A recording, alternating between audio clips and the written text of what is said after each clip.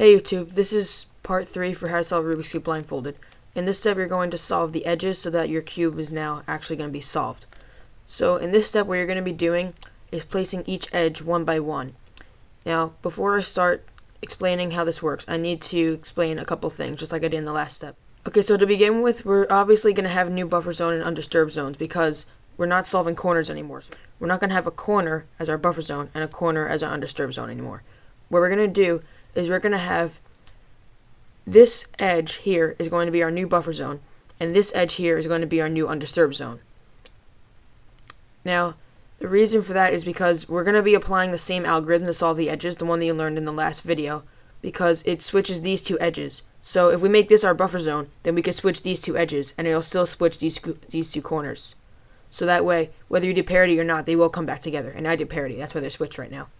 So, what we're going to do is we're going to, once again, take what's in our undisturbed zone, and we're going to try to place it wherever it has to go. So this has to go here. And then we're going to continue what doing What to have to do is get those pieces into the buffer zone, and then switch these two edges, and then put them back. Now also, because it's the same algorithm that we're using in the other step, since it switches these two corners, that means that these two corners can't be disturbed either, because if we have to keep switching the same corners. So whenever you're doing setup moves, you can't disturb these two corners. So that means that if I was to get for example, this piece into the buffer zone. We can't just go like this, because that would disturb one of the corners, and then when we do the algorithm, we'd switch these two corners, and that would mess up all your corner placement. Now, that also means that you can only use the left side and the down side for setup moves, which obviously, as you can see, isn't enough isn't enough sides to get the pieces in. That means that you can also turn, though, you can turn the middle slices. You can turn this middle slice and you can turn this middle slice. So that means that by using those middle slices, you can actually get all the pieces into the buffer zone. I'll explain a little bit more into that later on the video.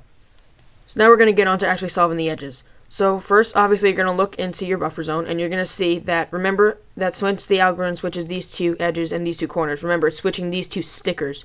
So that means that we have to get this sticker.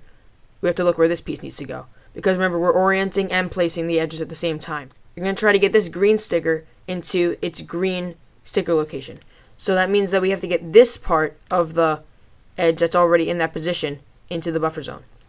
The part that's facing the green side. So you can actually very easily do that. You could do that by just moving the middle layer down. So you can see it comes from here up into your buffer location, which remember is this edge location, not the actual edge itself. So once you get up there, you can just do the algorithm that you did before. And then all you have to do is just put it back doing the setup moves in reverse. And you'll see that this piece is oriented and placed correctly. So now we're going to get this piece into the right spot. Remember that since we're switching, we can actually think of it as switching stickers, not edges. So you're actually switching the white sticker with whatever is in that white sticker location, which is blue. So you can do that by just moving the middle layer twice. And you'll see that that piece gets in. And then you just do the algorithm. And then you do that setup move in reverse, moving the middle layer twice the other way. And that gets that into the right spot. Now we have this piece. So it's the blue and orange piece. But the sticker that's in the undisturbed zone right now is the blue sticker. So that means that whatever is facing the blue side of that piece, which is the white sticker here, we have to get into the buffer zone up here. Now, you can't do this very easily. You're going to have to do a couple more extra moves. You might have already figured this out, but in case you haven't, what you're going to have to do is to get this in easily, you're going to have to pretty much put it into what I like to call a trigger spot. And the two trigger spots are right here and right here. Now the reason is because those are two are very easy places to get into the buffer zone from if you get the piece into that spot. If you get it into if you were to get this piece replacing this white sticker right here, you can just bring the middle layer up twice and you get it in the buffer zone. If you were to get this white sticker into the green sticker spot of this piece, you can just bring the middle layer down like that and you get it into the buffer zone. So you're going to try to get every other edge besides these two and this one, for reasons I'll explain later, into one of these two trigger spots and then that way you can just easily bring it up to the buffer zone. Now this piece, you can see, if you were to just bring it down onto the downside, you can easily get it into this trigger spot right here. Remember the white sticker of it. So you're going to do that, and then you're just going to move the middle layer up twice to get it into your buffer zone. Do the algorithm. And then undo your setup moves. Like that. This sticker here is white, so you have to get it to the white sticker location of that piece. So what you're going to do is move this over into your trigger spot here, and then bring it up like that. And now you're going to undo your setup moves to put it into the right spot. So now we have this piece. Now this is the yellow and green piece. It actually just needs to go into our buffer zone. So just like when you're doing the corners, if it has to go to the buffer zone, you just do the algorithm because there's no setups. So now that piece is placed. Now as you can see, we're almost done with the cube. We only have a few extra pieces that we have to solve. But the problem now is that, once again, just like with the corners, you're going to run into this. The undisturbed zone is solved. So you're going to have to do, just like with corners, you're going to have to break into a new cycle. Now remember when I said that, for reasons I'll explain later, this piece doesn't need to get into a trigger spot. And that's because this piece is also a trigger spot because all you have to do is just move the middle layer up and you can get that part into the buffer zone.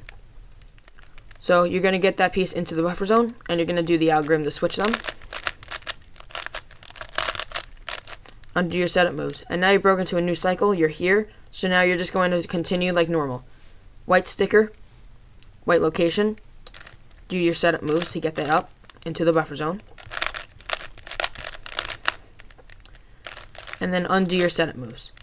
And now it's solved.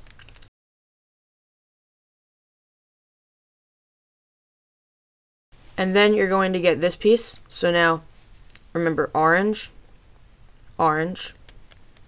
So for this one, you're going to have to bring this down, get it into this trigger spot right here. There it is.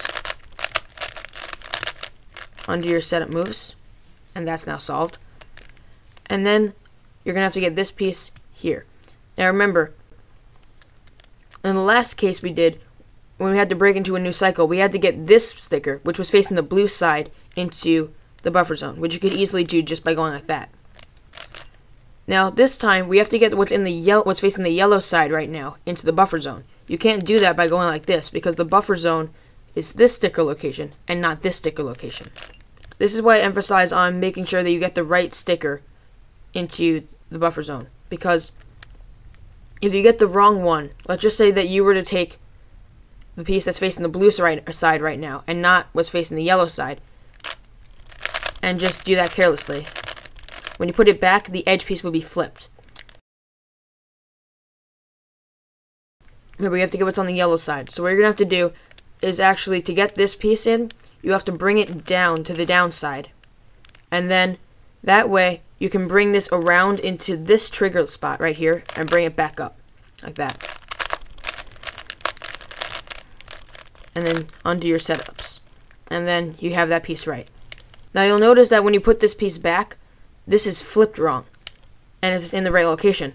Now all the pieces are solved, except this one's also flipped, so technically it's not actually solved yet. Whenever you have a piece that's flipped wrong from the very beginning, it's going to be kind of hard to place it. To flip these two pieces, what you're going to have to do is again break into a new cycle, but this is going to be a different kind of cycle. What you're going to do is get one of these two sticker locations into the buffer zone.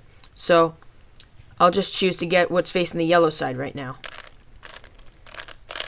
Like that. And you're going to switch them.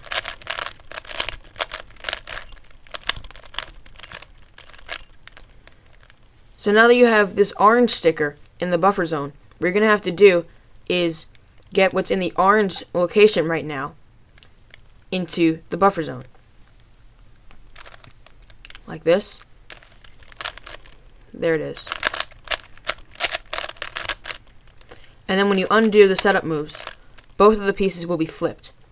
And if you were able to follow along with how the stickers were being swapped and everything, you'll be able to understand why exactly they were switched in the first place. Now you know the whole method for being able to solve the Rubik's Cube blindfolded. Click here so that you can learn how to memorize because that's the only thing I didn't teach you yet. That's it. Thanks for watching.